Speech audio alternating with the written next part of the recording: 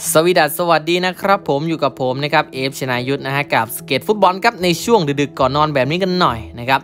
มีข่าวบอกว่าเชลซีเนี่ยมั่นใจว่าจะปิดดีลกับราฮิมสเตอร์ลิงได้นะครับค่าตัวก็อาจจะประมาณ 35 ล้านปอนด์นะครับ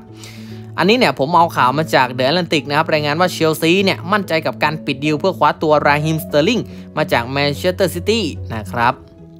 ซัมเมอร์นี้ครับดาวเตะวัย 27 ปีครับย้ายจากแมนซิตี้เนี่ยได้ในราคาที่ถูกลง เพราะเขาเหลือสัญญากับทีมอีกเพียงแค่ปีเดียวเท่านั้น ก่อนจะกลายเป็นแข้ง free agent ครับในอีก 12 เดือนข้างหน้านี้นะครับสเตอร์ลิงเองเนี่ยก็ได้สอบถามคนรู้จักถึงชีวิตในรั้วสแตมฟอร์ดบริดจ์รวมถึงโทมัสทูเกิลครับเป็นกุซือในแบบไหน และแหล่งข่าวเชื่อว่าอุปสรรคเดียวที่จะขัดขวางดีลนี้ก็คือค่าตัวของราฮิมสเตอร์ลิงเองนะครับ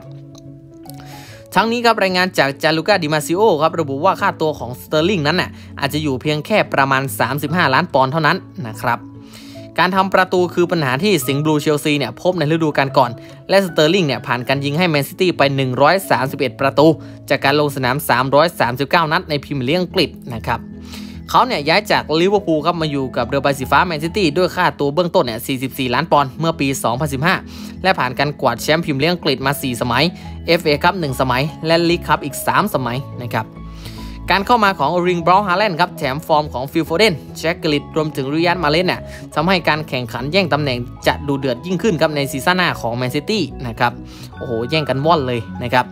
สเตอร์ริงเนี่ยเล่นริมเส้นเป็นหลักนะครับผมแต่ก็มายืนเป็น false nine ได้นะฮะและอาจจะช่วยทดแทนช่องว่างที่ลูกากูทิ้งไว้หากเขาเนี่ยย้ายกลับไปซบกับงูใหญ่อินเตอร์มิลานนะครับอินเตอร์มิลานเนี่ยกำลังเจรจาเพื่อยืมตัวลูกากูกลับไปร่วมทีมหลังขายเขาเนี่ยขออภัยครับหลังขายเขาเนี่ยมาเล่นในลอนดอนกับเชลซีเมื่อปีเมื่อปีที่แล้วนะครับผมในราคาสูงถึง 97.5 ล้านปอนด์นะครับ อินเตอร์มิลานครับพร้อมที่จะจ่ายค่าเหนื่อยทั้งหมดตามที่พวกเขาตกลงกับลูกากูและข้อเสนอยืมตัวด้วยเงิน 5 ล้านปอนด์ขออภัยครับ 5 ล้านยูโรโดนปฏิเสธไป แต่ก็คาดหมายว่าจะเจรจากันลงตัวนะครับมีข่าวนะบอกว่าเชลซีเนี่ยกำลังจะปิดดีลกับราฮิมสเตอร์ลิงครับในอนาคตอันใกล้นะครับค่าตัวก็อาจจะไม่ถึง 60 ล้านปอนด์ก็ได้นะครับ อาจจะตกลงกันแค่ 35 ล้านปอนด์ก็เป็นได้นะ เพราะว่าตอนนี้เนี่ยก็มีข่าวหนาหูเหมือนกันว่า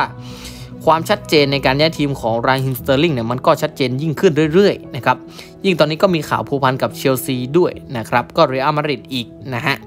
แต่ก็น่าจะมีมูลความจริงครับเพราะเอามาจากนักข่าวอย่างจารุก้าดิมาซิโอนะครับของเดอะแอตแลนติกเลยนะครับถือว่าเป็นข่าวที่น่าเชื่อถือในระดับหนึ่งเลยนะครับ ทุกคนคิดว่าไงก็คิดไต่ตรองกันให้ดีๆนะครับ ขอบคุณครับที่รับฟังในช่วงดึกแบบนี้ครับ คอมเมนต์เข้ามาได้เลย ขอบคุณครับ